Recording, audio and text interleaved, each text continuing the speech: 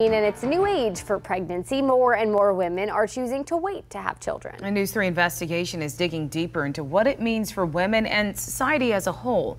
Investigative reporter Margaret Kavanaugh joins us with a woman who got pregnant at the age of 54. This is something I've wanted for so long. Trying for seven years to get pregnant. So many ups and downs, so many failures. Nobody and no one Nothing prepares you for the heartaches that go along with it. But that heartache turned into joy when Kathy got pregnant at 54. You can't let fear control you. If if it is in your heart, just do it.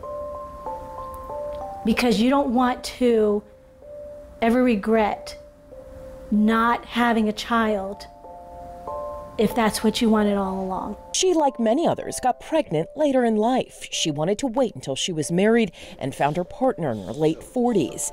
The pair tried to conceive on their own. We hit a brick wall.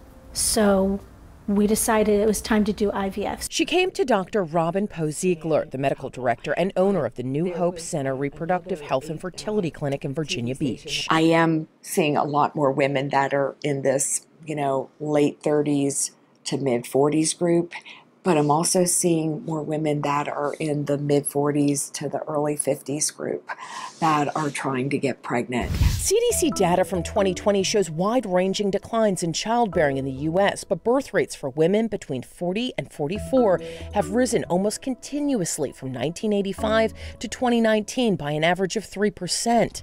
Why do we care about birth rates? Well, coming up, we'll explain how it impacts the population and policies. Plus, learn more about why women are waiting longer to have kids. We'll have that part of the story coming up tonight at 6 p.m. Margaret Kavanaugh, News 3.